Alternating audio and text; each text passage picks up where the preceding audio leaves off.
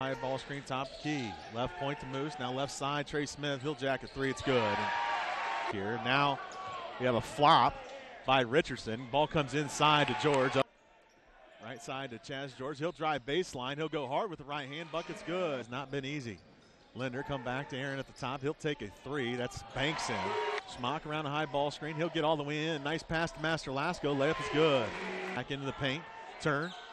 In some trouble. Now he'll go up and got it to go. Right hand can't get it. Aaron Overheiser corrals the board. His putback bucket and the foul. Schmock will go ahead and get in the lane. Scoop the hoop with the left hand is good. Tommy Schmock able to left side to Trey Smith. Now going to Alex or going to Aaron who slams it home with to Trey Smith. Trey hesitates, pull up for three. Need it, got it. Trey Smith